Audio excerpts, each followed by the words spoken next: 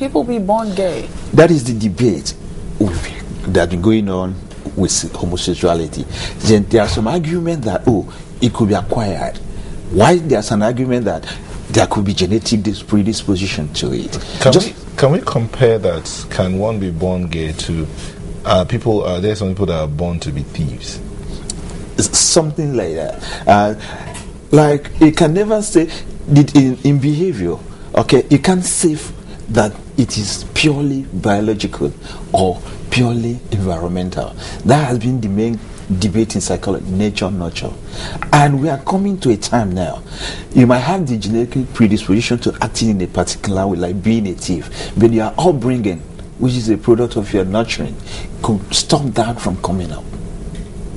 Like if you told the argument of Sigmund Freud, if we all are bisexual, that means we have the tendency of becoming gay. But the prevailing circumstances in our environment will either suppress it or bring it up. So you wouldn't say 50% is uh, uh, nurture, 50% is what? No, there is an interaction between nature and nurture. Yeah, when, when, you say it's no longer a disorder, maybe uh, perhaps uh, you could just uh, uh, break that word down for us. What do you mean by a disorder so that we can then say if okay. this is just another issue away from a disorder? All right. In psychology, we study abnormal patterns of behavior and we have various definitions okay because it can't pin in on one now a more concise definition of abnormal behavior is any uh, cognitive emotional or behavioral dysfunction that is unexpected in any context that is capable of causing what personal distress as well as what impaired function to any individual is a dysfunction now we have various models of looking at what is abnormal. From the sociological model, which we have criticized a lot, that's saying if any of your behavior deviates from your, the norm, the societal norm, it becomes abnormal. But then the criticism there is who are the people that are setting the standard for these norms? So if if somebody could say, okay, this is what we want, what right has the person to say this is what the society should do. It becomes another thing. Now, there is another model we call the nuisance model. Nuisance model equates abnormal behavior to any behavior that is ca- capable of causing what? Distress or has a nuisance value in terms of political, social, economic to any other person. Then it has its own shortfalls as well. Let's talk about having a personality disorder. Does it also apply to those uh, who are uh, homosexuals, for instance? You see yourself as uh, maybe a particular sex when in outlook you're just not it. For instance, you're a man and you just view yourself uh, as, a, as a woman. It's a category we call sexual identity disorder. We've had several of them. And we even have uh, like the paraphilias. Okay, these are disorders that people actually, just like every other disorder, it, it might come on you or you might acquire it uh, maybe during the process of your uh, socialization and other things. Now, we have transvestite. Okay, we just say they are trapped in the wrong body, and you could see some of them going to do what surgery because they feel they can't live being having a female organ, but being feeling like a man it's a feeling thing now. And that's why after a while, we've had several of them that did transsexual uh, uh, surgery. Okay? So, because they feel that they are inside them, they are feeling like a woman, but they have the organ of male. Mm. What about those who are born with, you know, um, uh, with organs of of both, both male, male, yes. male and female? Now, we had one uh, at my center there at LUTH the other day. Yes, we did our physical examination. He has both male and female organs. So there are other tests we need to do to determine which one supersedes. Okay? Do they exhibit the same, you know, do they exhibit characters of both of both sexes? They do. But one will always tend to dominate. Okay, that is the nature of this thing. Like this young he was trained to be a boy but he had two ovaries. Okay, he has an, uh, an opening, not truly defined as a female genitalia, but there's also uh, another male genitalia there. So we have to determine the internal uh, organ and the constituent to know which one dominates. He has already, uh, he has already been trained to be a man, but from our investigation, he had more female organs, hermaphrodites, yes. But then surgery could be done to correct it. But in terms of his behavior, he's already acting like a man. When we suggested, okay, the psychological aspect of it and what you feel more comfortable being, to him, already he's acting like a man. So he was favorably disposed to being a man. But we looked at it, okay? These are, uh, you have more female uh, organs than that of In male. other words, if you were going to carry out surgery on you, it would be easier for us to achieve, it would be easier for us to make you female than, than male. it would be easier to make a female than male. But his orientation and feeling is like that of a man. So if you do that, he will be acting like a man. Meanwhile, trapped in the female body. But the, when you did that test, um, did you do a hormonal test? that is part of how we get to know which one dominates.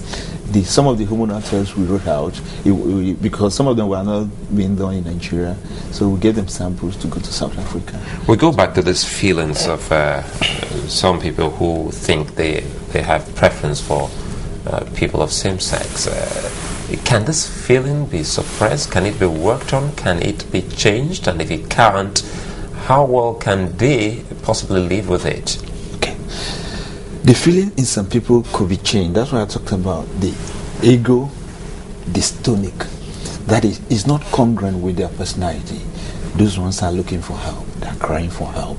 All they need to do is to come to professionals that will put them through. Like yes, I managed one I told you earlier, which I, I wrote, I put up an article on, and I discovered that he actually went ahead to marry, but was bringing men to sleep while the wife was in the bedroom. He was sleeping with men in the parlor. The wife kept on stumbling into them and wasn't feeling happy. So it was going to cause a lot of problems, like marital discord. So when I came in, I, I explored him, I assessed, I discovered that, okay, situation has forced him to go and get married. He's more of a homosexual than a hetero. Okay? Now, I did a lot of motivational talking, letting him see, okay, you've gotten into this implication. Along the line, he started having a change of because if they are not motivated, there's nothing they're going to do. So when I saw that motivation to become a real man or a, a, a heterosexual, okay, I, I started the change. How rampant are these cases that you're getting now? Is it has it increased in the last year or so, or last like in the 10 last two years? years, yes. Before that, nobody comes to you to complain about such issues because of stigma. But some of them are becoming bold enough to seek for help.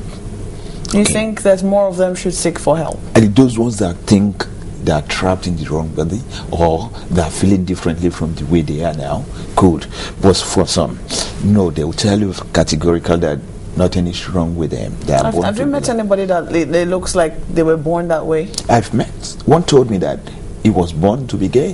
He told He you. told, told you, me. but from I- from I what know- you saw, Yes. you know, from any other thing, where you can you tell, aside he's telling you Yes. that this is how he was actually made. That, that is exactly what we see. Like, oh, from our theories, okay, you can't say that you are born to be gay. You can't. The circumstances or whatever he must have been told. Because he started giving me history of when he was growing up. Okay, he was always like, a, like feeling like a female. Okay, getting attracted to whatever female, playing with females, all those female games and female toys. That was his uh, analysis. Okay, but I told him no. We have what is called effeminate or feminism. Okay, it doesn't make you what a homosexual because there are so many effeminates that are not what gay. So there are two different things. But because of the understanding they had growing up, so he was he was not feeling as if he was born to be gay. So it was behoves for me now to educate him properly.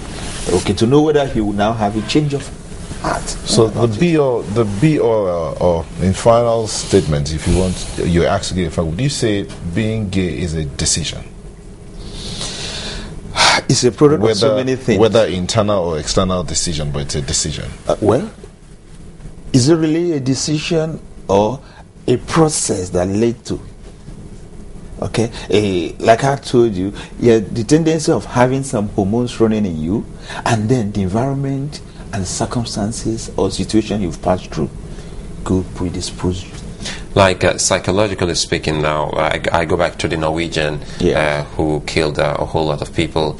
Uh, do do you think gays are menace to society? Are they harmful to the, to the society? I don't think they are harmful to the society. Like we've had so many of them in this country.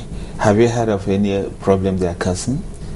Uh, it's their choice, okay? It's their orientation to be gay. You're not worried about the fabric of community, the fabric of family, and all those sacred norms that we hold dear. Every, to be frank with you, every family has a secret. Most families, incest is going on. Is anybody hearing me?